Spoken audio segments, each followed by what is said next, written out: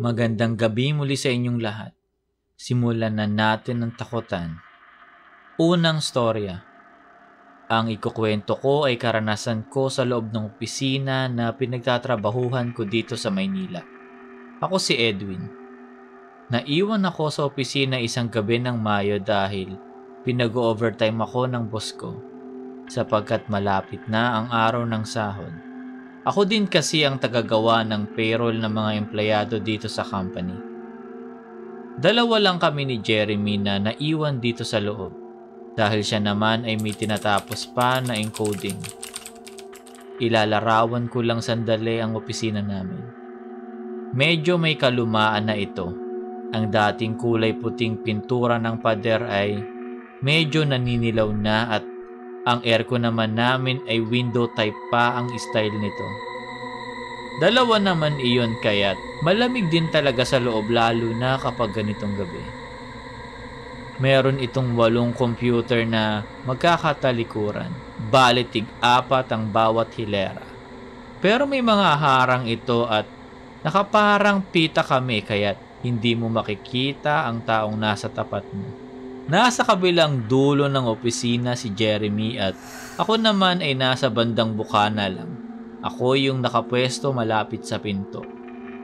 Sisimulan ko na ang storya.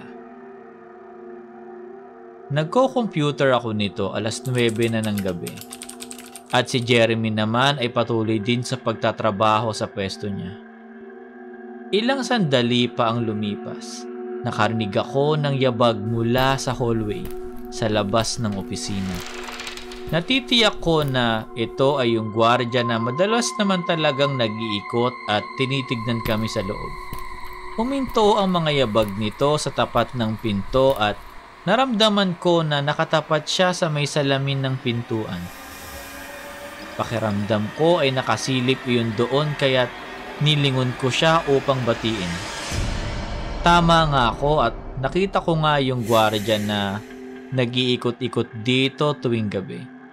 Ngumiti ito sa akin. Medyo nawirduhan ako sa ngiti niya pero hinayaan ko na lang at ngumiti na lang din ako sa kanya. At saka na ako bumaling ulit sa harap ng aking computer. Ilang sandali ang lumipas ay nagtataka ako kung bakit hindi ko narinig yung gwardya na naglakad palayo. Gayong nakita na naman niya kami na Nagtatrabaho pa doon kaya bukas pa ang ilaw ng opisina. Parang medyo kinilabutan ako lalo na nang makarinig ako ng tila ba may sumisit-sit sa akin. Psst. Psst. Alam niyo yung sit-sit na pakiramdam mo ay nakangiti yung lumilikha noon? Yung tunog niya ay para bang nang aasar ito imposible naman na pagtitripan kami ng gwardya dahil hindi nito gawain yung ganun. Hindi ko alam kung bakit at ano ang motibo kung sakaling gagawin man ito ng gwardya na para bang isa itong bata na nakikipaglaro. Pinakalma ko lang ang aking sarili bago ko siya lingunin. Plano ko nang sabihan siya na kung ano ang kailangan niya at bakit niya ako sinisitsitan. Sir Chris, hindi ko inaasahan yung nakita ko dahil paglingon ko sa guard ay hindi ito ang nakita ko kundi yung kasamahan ko sa trabaho na si Jeremy. Nakangiti na ito sa akin. Napatayo ako nito at nagtaasan lahat ng balahibo ko sa bato. Tumakbo ako sa kabilang bahagi ng opisina. Nagulat ako nang nakita kong tumayo si Jeremy doon sa kinauupuan niya sa may dulo. Napatingin ako sa kanya dahil lumikha ng ingay ang mabilis niyang pagtayo mula sa upuan nito. Pagkatapos noon ay ibinalik ko ang aking atensyon doon sa lalaking nasa pinto. Ngunit wala na ito doon. Ikinwento ko kay Jeremy yung nangyari at sabay kaming lumabas ng opisina. Pinuntahan namin yung guardhouse upang tanungin kung nagpunta nga yung isang gwardya doon kanina. Tama nga ang hinala ko dahil Yung gwardyang hinahanap namin ay naandoon lang at nanonood ng TV sa guardhouse. Tinanong namin siya kung nagpunta na siya doon sa opisina namin upang silipin kami o hindi pa. Sir Chris, nakakatakot ang sinagot ng gwardya sa amin. Ang sabi niya ay, hindi pa daw siya pumupunta doon dahil nakasalubong niya daw ako kanina at ang sabi ko daw sa kanya ay uuwi na kami nung kasamahan ko. Sir Chris, yung buong maghapon na yon ay hindi ko pa nakikita yung gwardya. Ang ibig sabihin nito ay yung espiritu na naandun sa company namin ay marunong manggaya ng tao. Kalawang storya. Last year lang na mangyari ito, Sir Chris. Ako si Rosie Gabi ito at natutulog na kami ng asawa ko na si Gerald. May isa kaming anak. Ang pangalan naman niya ay si Lucas. Pitong taong gulang ito. Malambing na bata ang anak namin. Kaya madalas ay lumilipat ito sa kwarto namin tuwing natatakot siya matulog mag-isa sa kwarto niya. Nakapatay ang ilaw dahil hindi ako sanay matulog kapag maliwanag o di kaya naman ay bukas ang ilaw. Pareho naman kami ni Gerald kaya walang problema ito sa kanya. Nagising ako ng bandang madaling araw na ito. Hindi ko matandaan kung anong oras na. Naramdaman ko na naupo sa tabi ko si Lucas. Hindi pa ako masyadong gising nito at talagang inaantok pa ako. Kaya habang nakapikit pa ang mga mata ko ay tinanong ko siya ng, Oh, bakit? Hindi ka ba makatulog? Natakot ka na naman dun sa kwarto mo, no? Sige, halika dito. Tabi ka sa akin. Umusod ako upang bigyan siya ng pwesto na mahihigaan niya. Pagkatapos nito ay sinubukan kong ituloy na ang aking pagtulog. Naramdaman ko naman na nahiga si Luca sa tabi ko.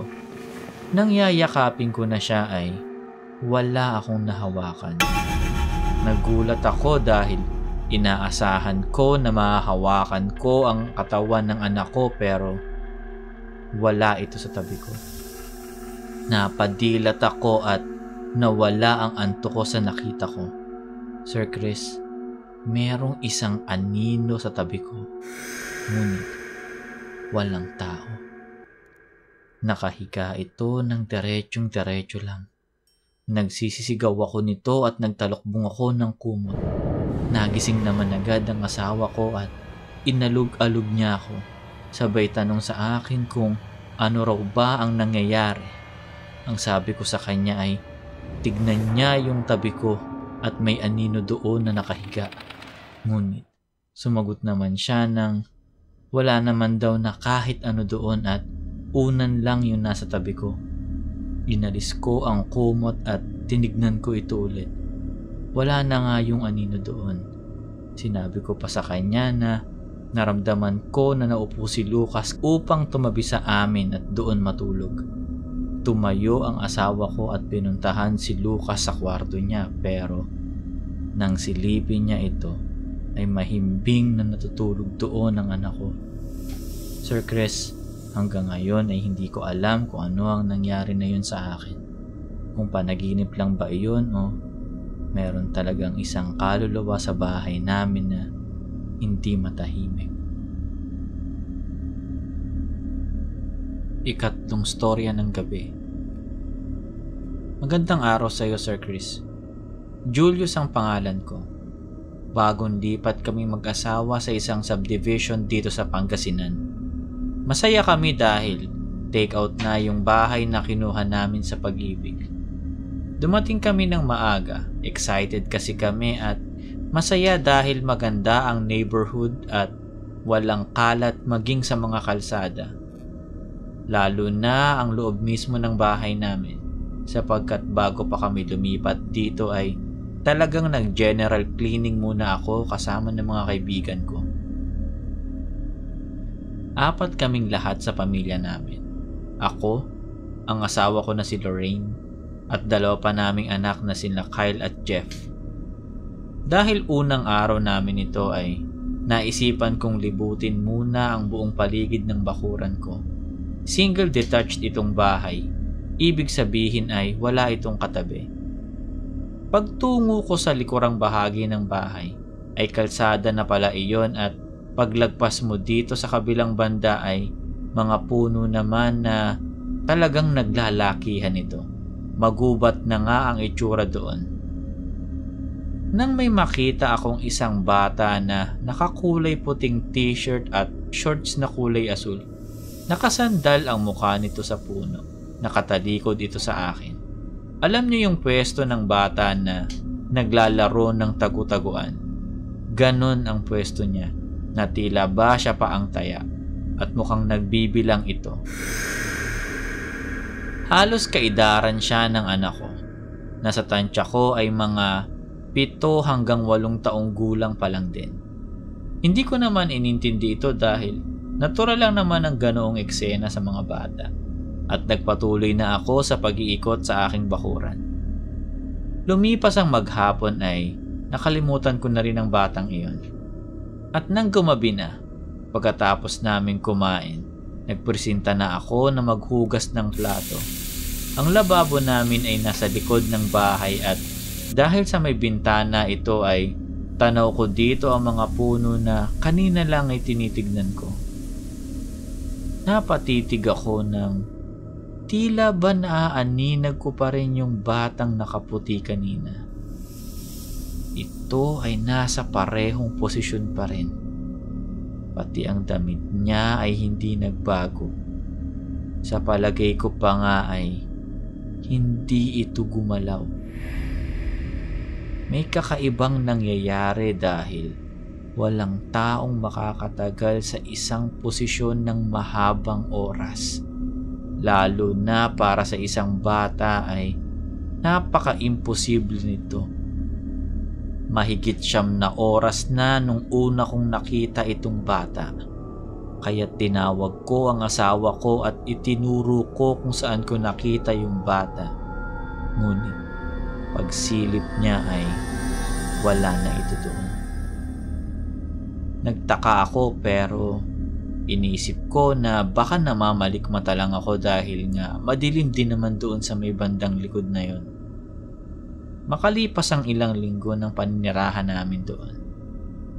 Napag-alaman ko mula sa isa naming kapitbahay na may bata nga na namatay doon sa likuran namin na hit and run daw ito ng isang truck habang naglalaro ng tagu-taguan.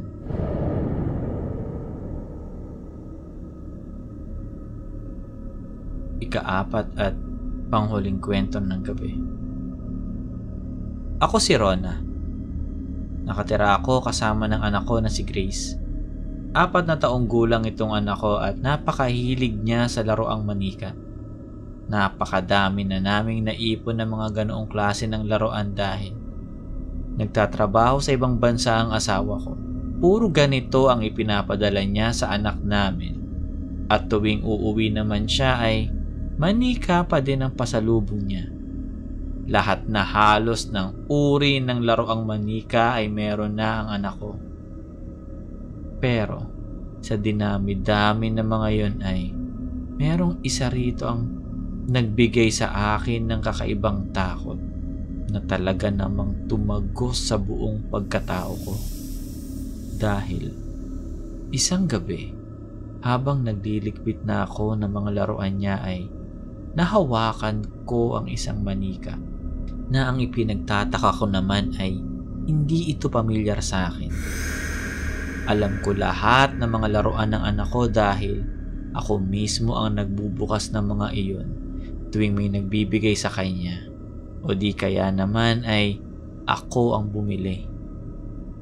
Pero ang isang ito ay hindi ko alam kung saan nanggaling. Malaki siya. May tatlong dangkal at kulay itim ang buhok nito na meron pang ang bangs na hindi pa nga umabot sa kanyang kulay itim na mata. Kamukha niya yung mga manika na may bilugang mga pisngi at light brown ang kulay ng katawan nito.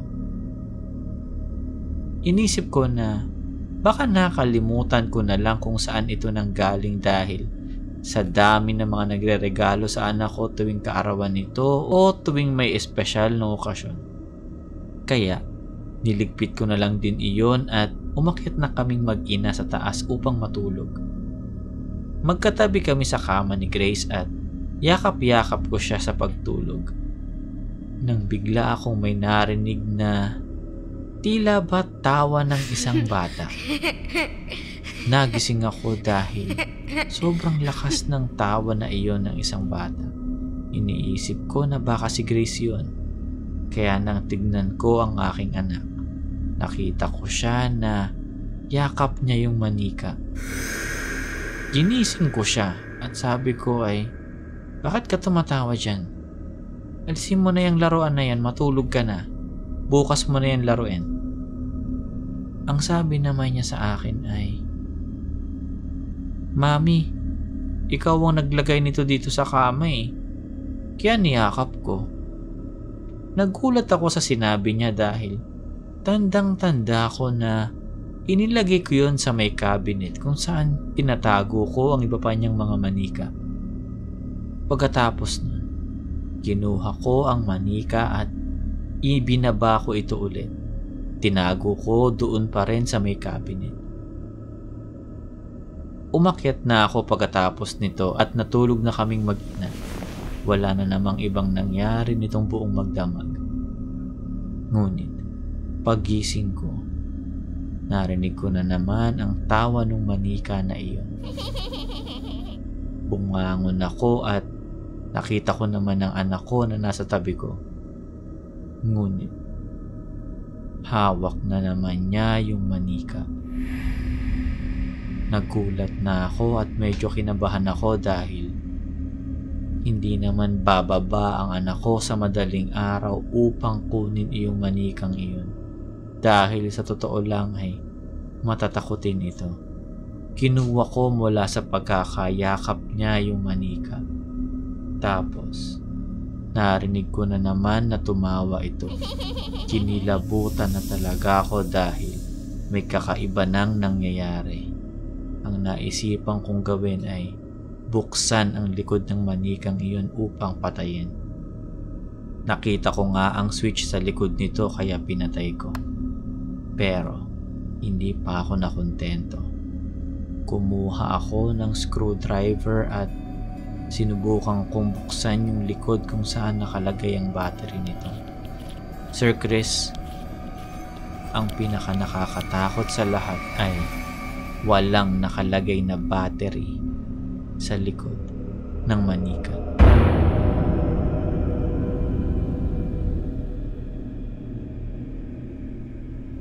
Sana ay naibigan niyo ang mga storyang ibinahagi namin sa inyo ngayong gabi.